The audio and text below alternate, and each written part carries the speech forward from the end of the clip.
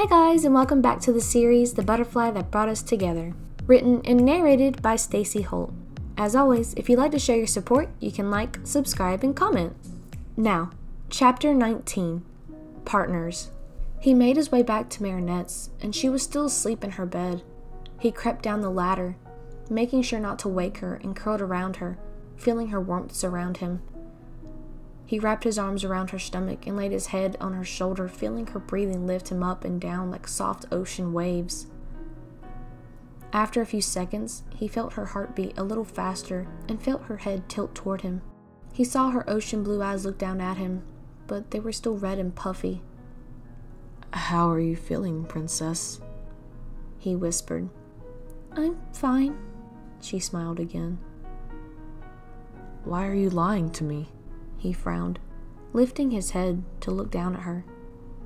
I'm not. All right. Why are you lying to both of us? He frowned. The question hit hard as she remained silent, and she threw her hands to her face to hide behind them.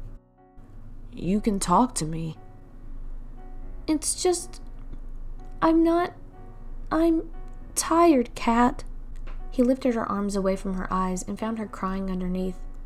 LB, he whispered. I'm not LB anymore, she cried.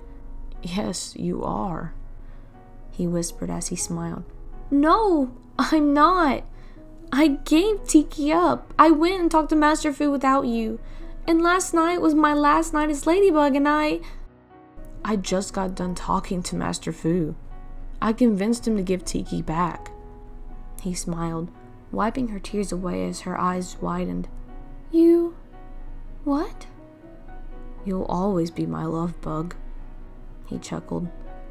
You went to Master Fu and convinced him? How? You didn't give up your miraculous, did you?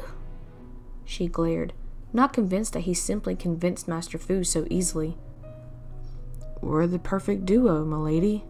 He knows that.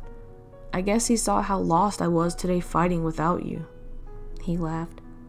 There was an Akuma fight today? Yeah, and I did terrible without you. I need my partner. He smiled. Who replaced me? No one. No one could ever replace you. Though I may have been a little harsh to them. what did you do? She laughed. I may have yelled a little. I was angry. I was hurt you weren't there. They were so happy, and I wanted you back. He hugged her tighter. Oh, Kitty. She smiled. Thank you. She smiled, kissing him, feeling him kiss her back. Who would have thought that a little butterfly would have brought us both together? He smiled, looking into her bluebell eyes.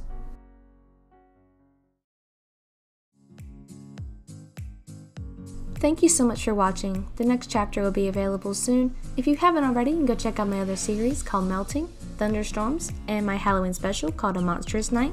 And I'll see you guys in the next one. Bye, guys!